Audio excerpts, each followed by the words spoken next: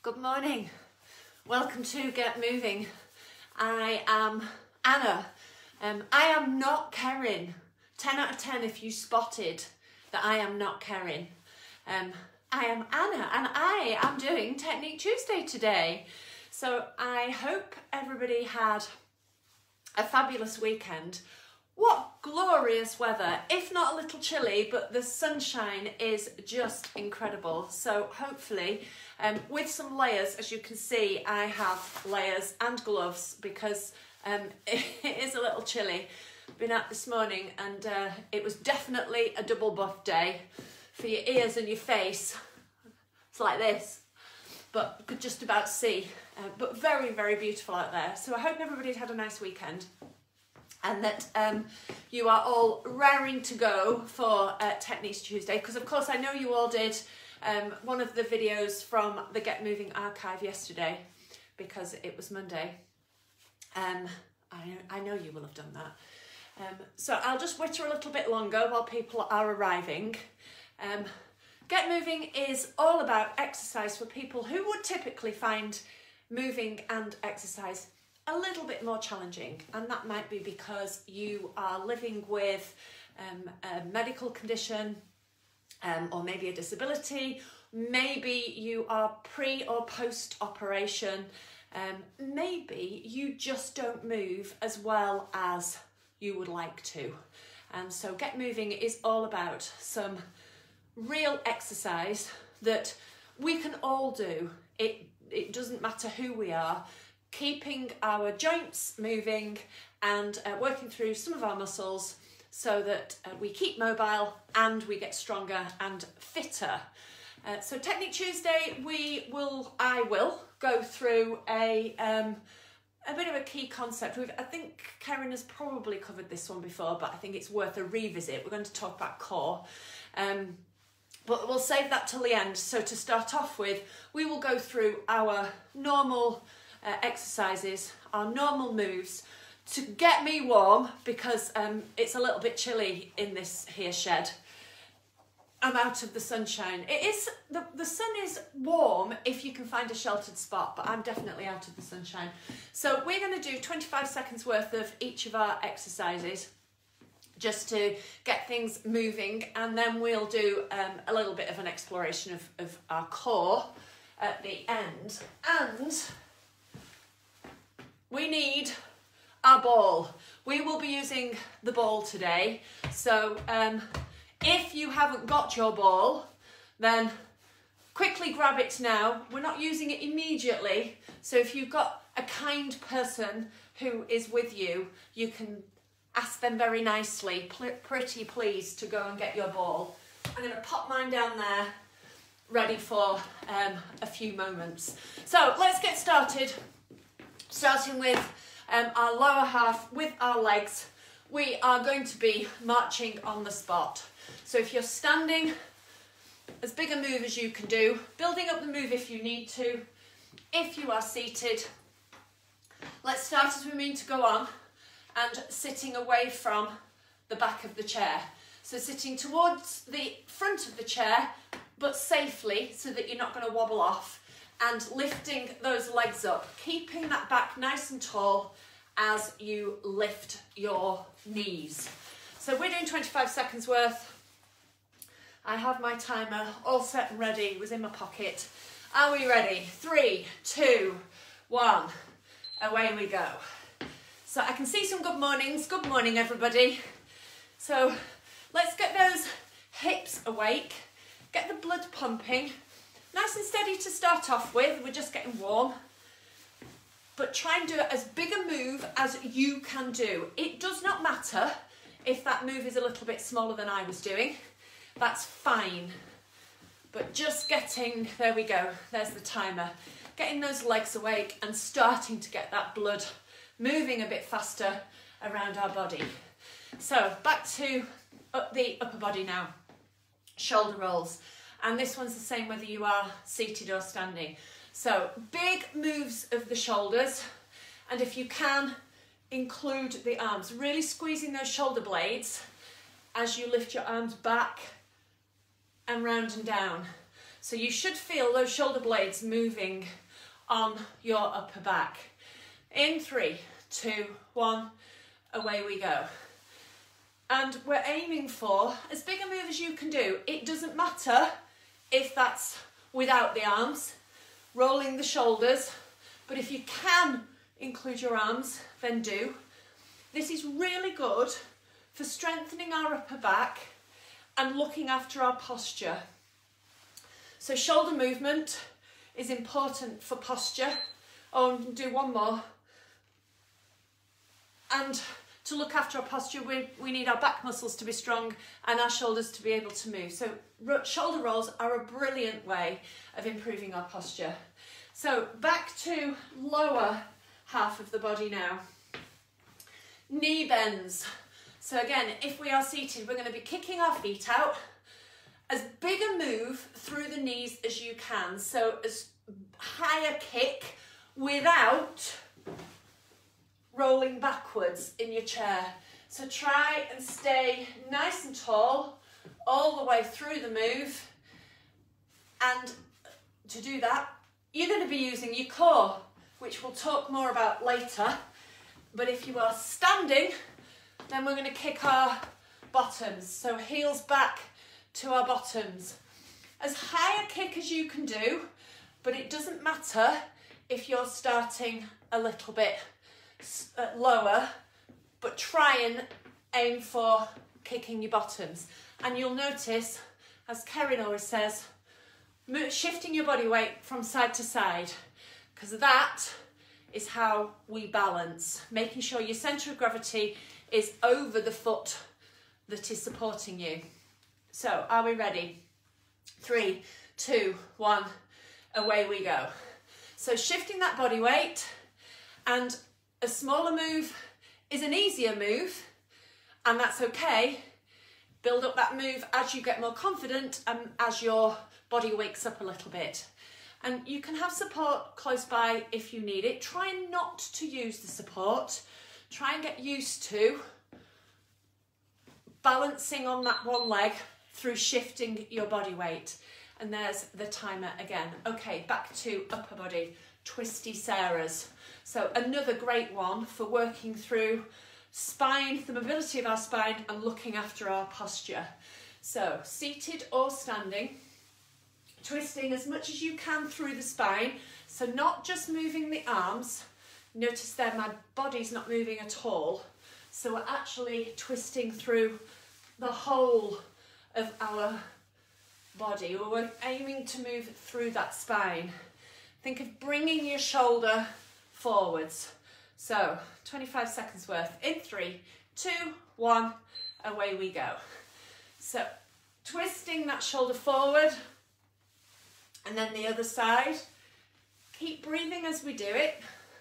Now this is definitely using our core muscles. So the muscles in your abdomen, through your sides and in your back. So twisting round to get that movement through the spine. And one more on this side. And then we're evens. Because I wouldn't want us to be wonky. Where are we up to? Double tap. So again, back to our legs. And again, if we are seated, this one definitely work on sitting nice and tall because it's so easy to rock back as you lift that leg up twice. So we're thinking of sitting tall and the knee comes up to the hand twice. So you will be using your muscles in your belly to help keep that back sitting nice and tall.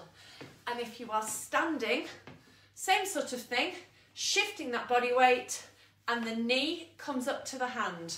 So we're aiming for the knee to move rather than the hand going down. Again, you can use support if you need to. Um, if you are using support, maybe rather than holding on with a whole hand, maybe just resting one finger as a bit of a balance. I haven't got anything to show you, but rather than holding with your whole hand, just leaning on that support with one finger to start off with and let's see how that goes. Right, so are we ready? Double tap, three, two, one, away we go. So knee up to hand, shifting that body weight before we lift that knee. I know that might sound really obvious, but it's easy to forget that when we're concentrating on lifting the knee up. So shifting the body weight over and then lift the knee. And the bigger the move, the better. The more you will be working through the muscles in your legs and the muscles in your belly. Well done. Okay, um, another 25 seconds done. Um, where are we up to? Ah, ball. We need the ball. So now we're going to all be seated. So everybody sitting down in a chair, away from the back of the chair as much as you can, but safely. Hopefully you can see me there. And we're putting the ball on our knees. So we're going to do the ball crunch. So forearms onto the ball, and then we're going to roll down over that ball to squash the ball into our knees. So if I show you from the front, I'm trying to squash that ball as much as I can. Now, there's a couple of things to think about, and I'll, I'll go through in a bit more detail later, but I want you to keep breathing. So you can either hold this squash for the whole of the 25 seconds, and if you do that, keep breathing all the way through, or we can push down and hold for a couple of breaths and then release, and then push down and then release. And I want you to think of really leaning forwards over that ball. So as if you're curling over the top of it. Right, 25 seconds of ball crunch in three, two, one. Away we go. So lean, couple of breaths, two, and release. Or you can hold, really lean forward and think of squashing your arms into your knees, squashing that ball as much as you can, and keep breathing. Or you can recover and then go again and release. Well done. So if you have a little rest in between, it's slightly easier, but you build up to whatever you can do. So we don't need the ball anymore. I nearly fell over my own feet then. So pop the ball down. Now we're doing bendianas. We're not actually missing anything out, Sarah. Um, twisty Sarah's are complete, and now we're doing bendianas. So this one again is movement through the spine. You can do it seated or standing. We're reaching down with one arm and if we can, over the top with the other. So a nice big stretch through the sides if you can reach over the top, but we're aiming for the sideways bend as a starter. Okay, so that's what we can all do, as much of a bend in the spine as we can. And if you can reach over the top, that's cherry on the icing on the cake. Yeah, that's what it is. In three, two, one, away we go. So down to the side and reaching over. I like these because they really get my back moving, but also because you get a nice stretch down your side as well. So reaching over as much as you can. Keep breathing on this one too. I catch myself holding my breath when I'm doing the stretch there. And holding our breath is not particularly good for us. Okay, right, Bendiana's complete.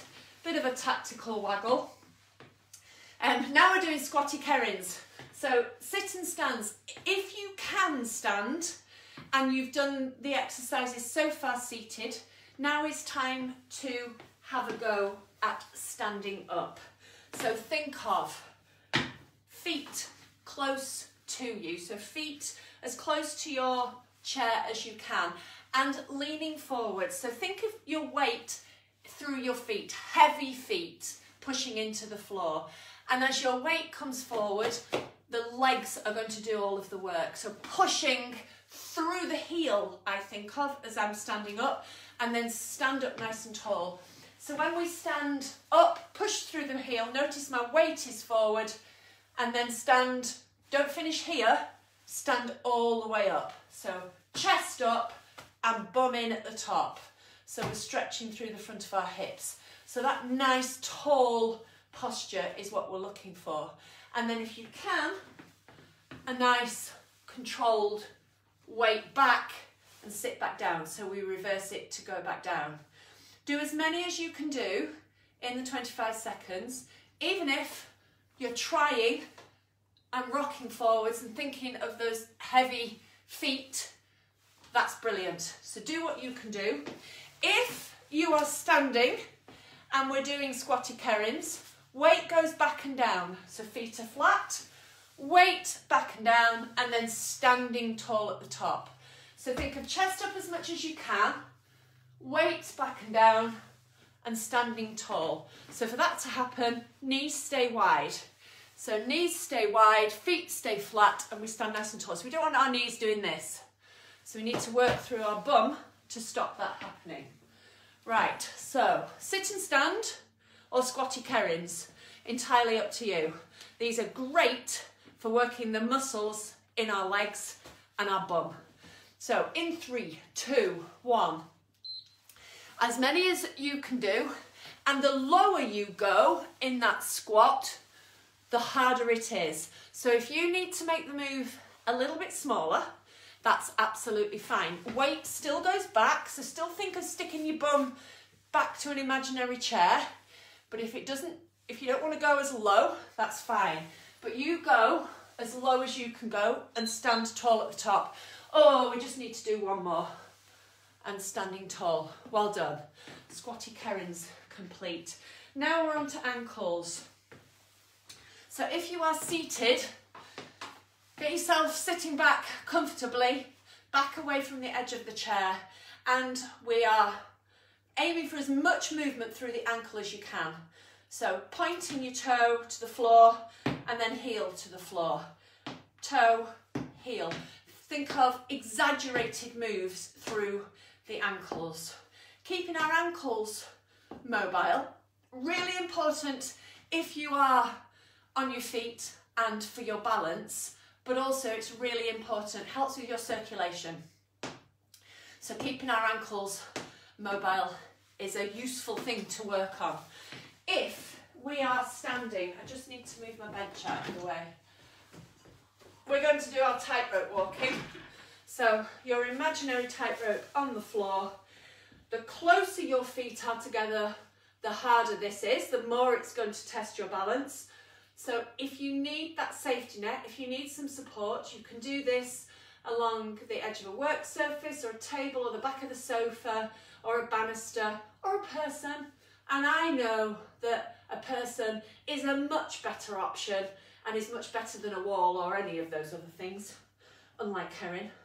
And we're going for heel, toe, heel, toe. And you can use your arms to help you wobble. Remember, wobbling is good. Exaggerated moves through those ankles. The heel touches the toe of the foot behind and using your arms, if you try and stay relaxed through your body so that you can use your arms to help you wobble. The closer your feet are together, the harder it is. Oh, and I'm just running out of space. And so then we're going to go backwards. So it's toe heel on the way back. So keeping our head up, keeping our shoulders relaxed. And if your feet are a little wider, then it's a little easier. It isn't going to test your balance as much. You do what you can do. Focus on challenging yourself safely and depending on how you feel today. Because do you know what? Some days are better than others and that's perfectly okay. Okay, I've run out of space, so I'm going to do one more time because we all know the second time is better. So heel toe coming forwards. Staying nice and relaxed. I'm trying to stay relaxed through my jaw. So I'm not clenching my teeth. And I know that might sound a bit daft, but that does help keep everything else relaxed. If you are really tight through your jaw, then everything else tends to tense up and it's harder to wobble. So staying relaxed is actually quite a good thing to pay attention to. And then toe heel on the way back. It's something that I'm working on when I'm on my bike, trying to stay balanced on the mountain bike because I grip the handlebars and then I catch myself gritting my teeth together, which is really not helpful. So staying relaxed through the rest of your body and hopefully wobbling away quite nicely, testing our balance all the way and I've run out of space again. Brilliant. So, bit of wobbling done, regaining our balance. I am going to change my timer today. I forgot last week and um, we nearly ended up doing 20 seconds of fast feet, but we're not going to do 20 seconds of fast feet. We're going to do, let's see, where does it stop? We're going to do 12 seconds of fast feet. Um, so fast feet is all about quick, fast moves. Running on the spot, whether you are seated or standing, I will just move my heavy bench.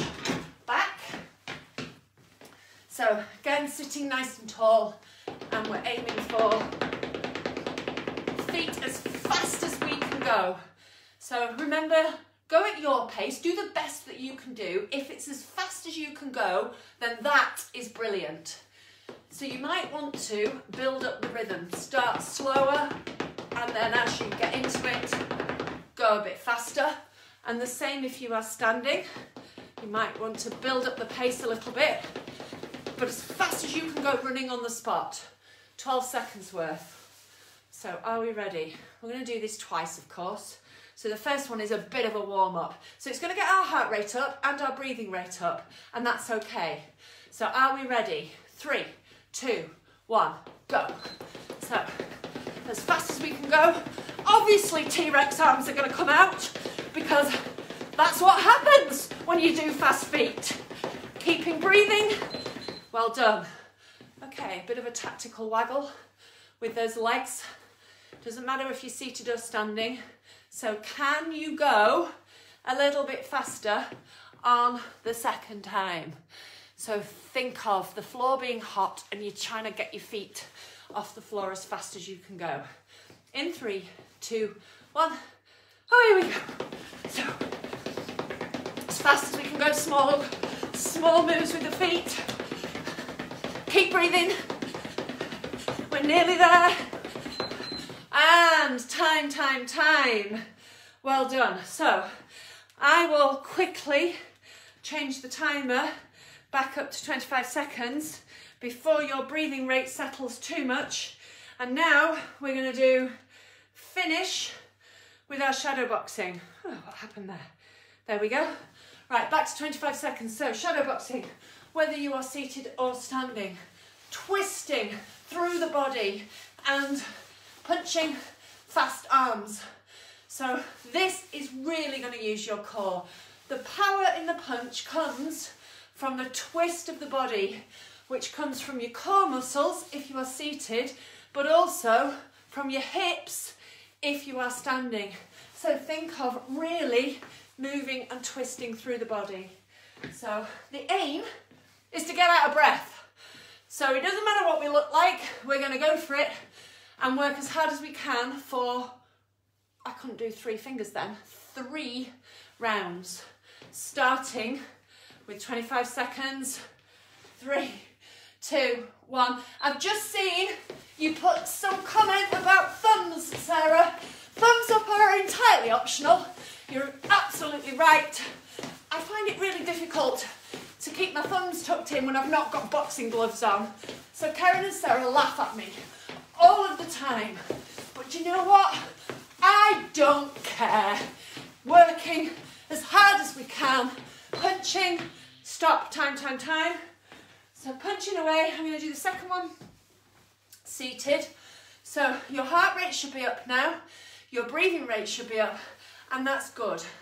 So second time, let's see if we can work a little bit harder. So in three, two, one, go. So punching away, twisting through that body, using your hips if you're standing, fast hands, aiming for your target. You might aim for the belly, you might aim for the head.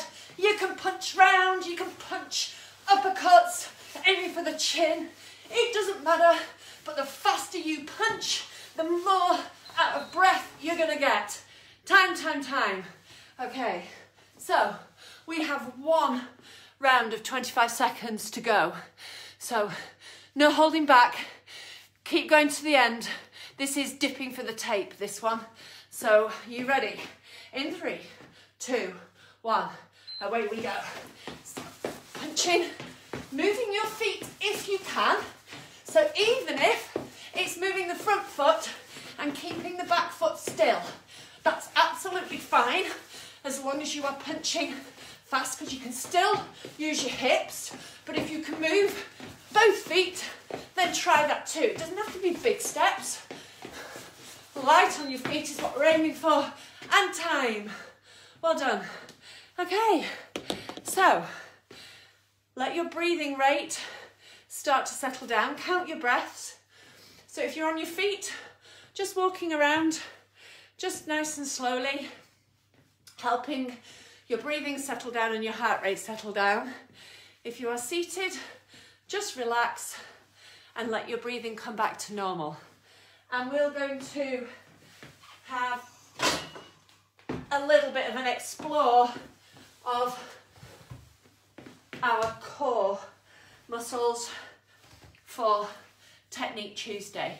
So I know, I think I said at the beginning, I think Karen's talked about our core before, but actually it's probably it's a while ago and it's worth a, a revisit because our core muscles are such an important part of our overall strength, our stabilizing strength.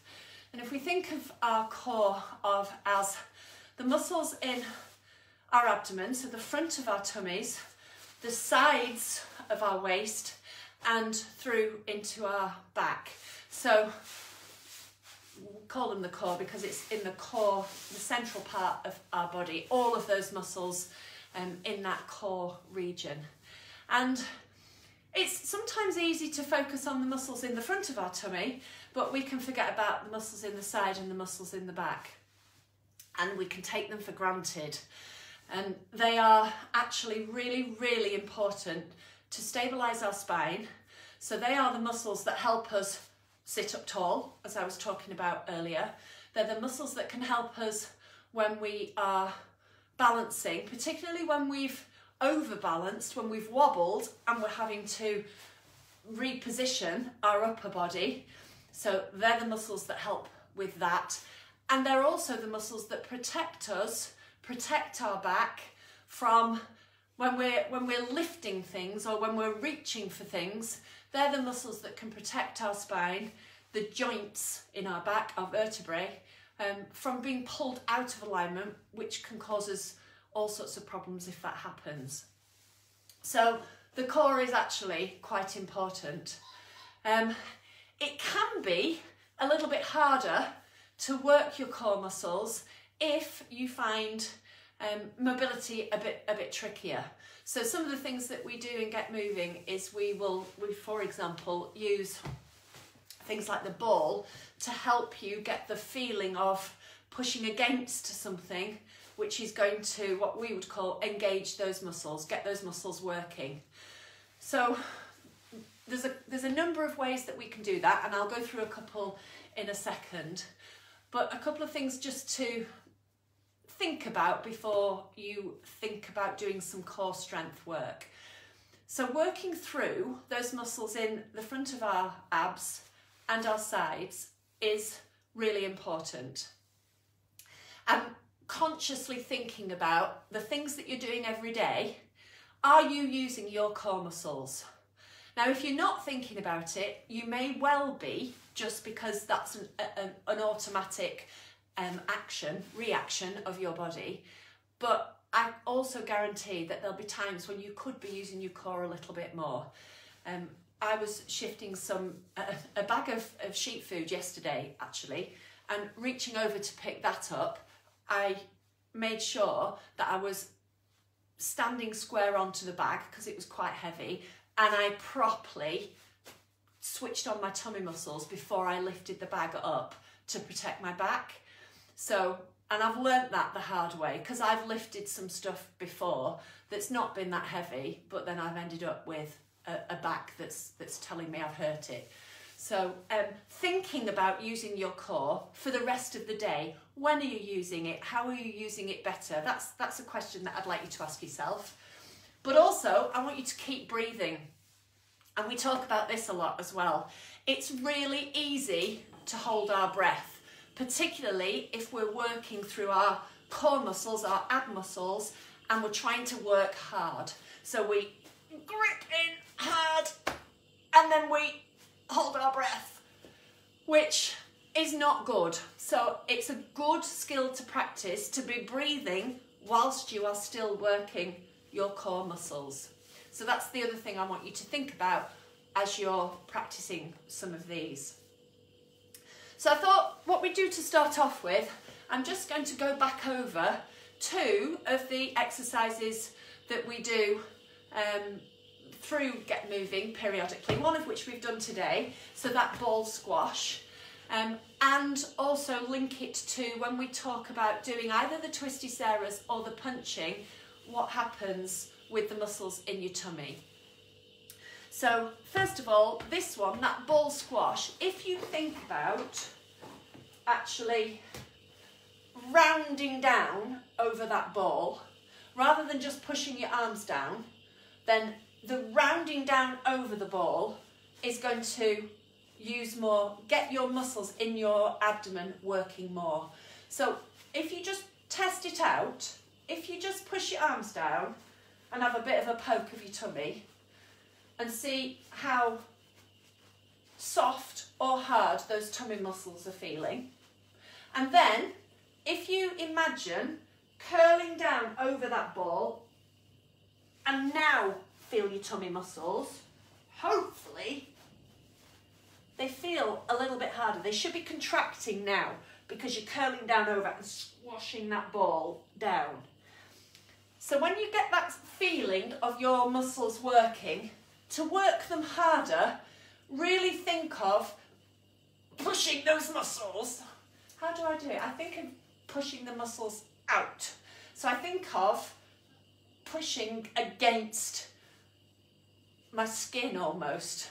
So think of really squeezing yourself in the middle and then breathe. Because the danger is we go mm, and then we don't breathe and we're holding our breath and we don't want people turning blue. So as you round down over that ball, think of really squashing the ball down, but also now think of squeezing through that those tummy muscles. And hopefully you will feel a bit of a difference. And then another core exercise that we do reasonably frequently and we do it when we're in face-to-face -face classes which we hopefully will be back to very soon um, we'll be sending a newsletter out. We're just we're just finalizing dates um, for that. But yes we're very very excited about getting to see you all very soon. Um, so when you think about when we do face-to-face -face classes we do the Pallof um, core exercise, the Pallof press with the resistance band, and that uses the muscles down the side of your body. Now, we've also introduced the straight arm Pallof, where we push against the side of our knee. So we've got straight arms and we're pushing sideways, almost trying to twist, but then resisting that twist with our legs. And that, if you feel the muscle in the side, the muscles in the sides of your waist, it is using the muscles in the front of your tummy and it's concentrating on the muscles in the side as well because it's important to work all of them. So that one, when we go from one side to the other, again, it's really easy to try and hold our breath. So I don't want you to hold your breath, but I do want you to think about which muscles are working more when you do either the ball crush or the Pallof press. Um, and see if you can work through. You can have a bit of a practice uh, throughout the rest of the day and we will be coming back to those um, throughout the week. But also just pay attention to when you're sitting, are you sitting tall and are you supporting your weight with your back muscles and your stomach muscles. And if you're sitting and you're sort of like this in the back of your chair, then your muscles are probably not going to be working as much as they could. So sitting up tall automatically requires you to support your body, your body weight through your muscles. So that's something to be thinking about throughout the day, which is what we're saying when we talk about the twisting moves that we do. They don't happen by accident, they happen because our muscles are working. So just pay attention, have a bit of an experiment throughout the day and let us know how often you use your core muscles and you didn't realise. Um, so uh, let us know through the website or let us know um, in the comments in the comments on the Facebook group. That would be fantastic. Um, right, that's enough wittering. I will um, say goodbye for now. Karen will be back tomorrow with Wobble Wednesday at 11 as ever. Enjoy this sunshine if you can. It is a bit chilly out there, so lots of layers, and I definitely recommend a hat because my ears, I had a buff on, but my ears were cold this morning. So uh, hat and gloves, definitely hat and gloves, but it is beautiful in that sunshine. So if you can get outside for some fresh air, then do. And um, have a fabulous rest of your Tuesday, and uh, we will see you very soon. Bye all!